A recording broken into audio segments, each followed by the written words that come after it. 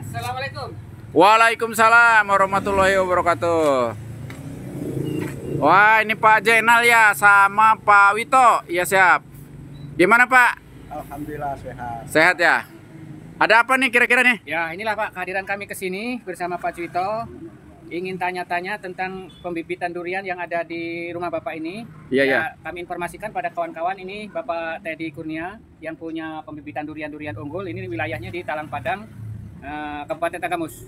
Nah, di sini Pak, saya ingin menanyakan tentang Siap, bibit-bibit durian ini ada bibit durian apa saja? Nah, Kemudian, oh gitu ya. Selain itu kami ingin tahu juga nah, masalah umur bibit ini, kemudian sampai pembuahannya umur berapa, kemudian prospeknya seperti apa, kemudian pemasarannya bagaimana dan seterusnya. Itu Bapak lebih tahulah tentang durian ini agar supaya saya apa memberi informasi kepada kawan-kawan ataupun saudara petani yang punya lahan tanah yang berminat untuk tanam apa tanam-tanam uh, durian ini itu mempunyai motivasi yang kuat Pak. Dia menanam ini. Itu tujuan saya ke sini Pak ya, bersama Pak Juito ini. Oke Pak, saya silakan kami ingin mendengarkan penjelasan Bapak. Tiga.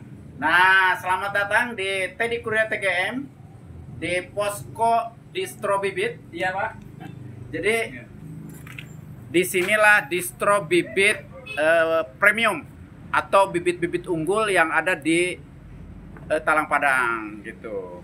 Nah, tadi Pak Jenal bertanya tentang eh, durian-durian apa saja. Nah, ini Ya, saya ya. ada ini adalah paket-paket hemat ini nah. Nah, ini Bapak terus turun ke bawah, terus ke bawah. Nah, ini Pak, terus. Bapaknya jongkok terus ke sini aja. Nah, ini ada super tembaga nih kan. Ya kan? Super tembaga. Kemudian ini cumasi nih. Kemudian ini nah, apa lagi nih? Ini dal oci nah, Pak. Iya, nama-namanya Oci masih nah ya. kita ini, Kemudian ini ada Mas Muar.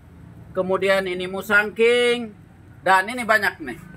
Dan ini adalah paket-paket standar yang ukurannya sekitar eh, 60 sampai 70 me- cm. Ya. Usianya? Usianya ya sekitar 8 bulanan lah ini kira-kira ya. Setahun Pak ya? Belum, belum setahun. Kemudian ada juga ini adalah durian ya durian paket hemat ini. Yang harganya tidak terlampau mahal ini. Dan ini salah satu paket premium ini. Nah, ini lihat, tinggi nah. Nah, tinggi. Nah, ya tingginya udah segini kan. Dan ini paket-paket premium. Dan sampai sini nah apa nih? Nah, ini. Nah, ini.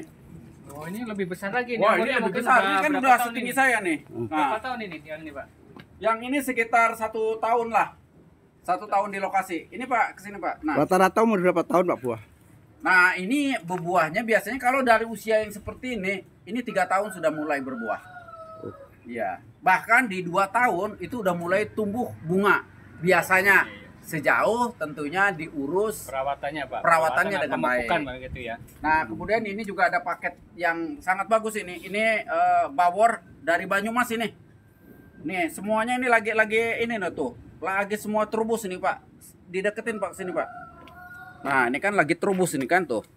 Dan semua lagi terubus. Ini ada nggak banyak juga ini saya bawa kemarin cuma 100 polybag ini. Iya. Terus ke sini juga nih. Nah ini musangking ini. Nah ini musangking. musangking, Pak ya. Kemudian ini duri hitam nih. Ini duri hitam nih Pak. Nah ini. cukup besar juga. Ya, ini tanda-tanda kalau duri hitam ini dainnya lancip ke sini tapi agak bundar. Iya kan? Nah, kemudian ini adalah bawor nih, bawor. Jenis bawor. Nah, Pak, ini dari terus ke sini, Pak. Nah, terus ke sini. Nah, terus Nah, Pak Jenal juga di sini. Nah, inilah durian-durian yang bagus ini termasuk juga pokat ini. Pokat ini. kan? Nah, pokat-pokat juga pokat-pokat mentega. Dan itulah distro saya tuh. Distro bibit buah Teddy Kurnia Ya. TGM menjual bibit. Ya. Oh, iya iya iya. Ya, nah ini bibit-bibitnya lihat nih. Mundur ya, Bapak. Nah, ya. Ini bibit-bibitnya lihat. Saya aja 165. Nah, ini berapa tuh? Udah tinggi.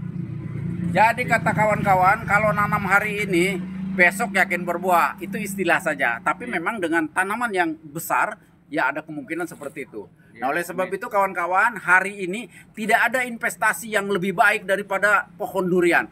Karena apa? Pohon-pohon yang lain semuanya ada waktunya, ada temponya. ada saatnya. Baik baik pisang, jagung, bahkan sawit pun itu ada temponya. Kecuali alpukat sama duren. Nah, kalau duren ini 10 tahun, 20 tahun sampai 30 tahun, bahkan ada yang 150 tahun itu tetap berbuah. Nah, oleh sebab itu dari hari ini kalau bukan kita Oke. mau siapa lagi? Mari kita tanam durian.